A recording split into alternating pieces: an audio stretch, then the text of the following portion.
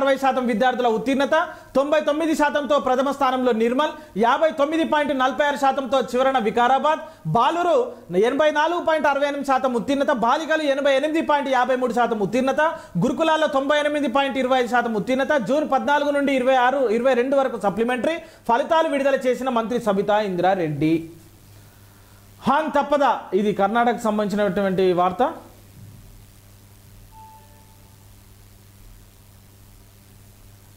Exit polls లోను కాంగ్రెస్ ఆధిక్యం. రెండో స్థానంలో బీజేపీ. కర్ణాటక ఎన్నికలు ముగిసిన కీలక ఘట్టం.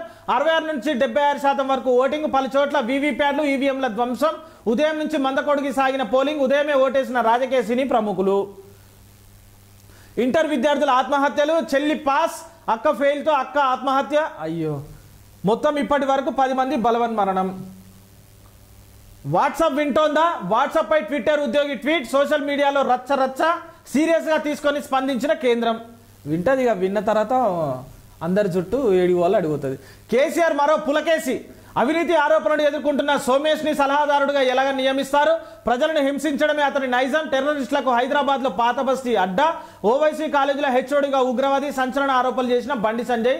తెలంగాణ పోలీసులు హీరోలు రాష్ట్ర ప్రభుత్వం సహకరించకపోవడంతో పోలీసులు కూడా ఏం చేయలేకపోతున్నారు. రాష్ట్ర ప్రభుత్వం సహకరించకపోతే కేంద్రం ఏం చేస్తుందని ఆయన బండి ప్రశ్నించారు. రాష్ట్ర ప్రభుత్వం సహకరించకపోతే కేంద్ర పోలీసులు కూడా ఏం చేస్తారని చెప్పి బండి సంజయ్ అంటుండు. తెలంగాణ పోలీసులు మాత్రం హీరోలే కానీ రాష్ట్ర ప్రభుత్వమే హీరోలను జీరోలు చేస్తుందని చెప్పి అన్నారు ఆయన.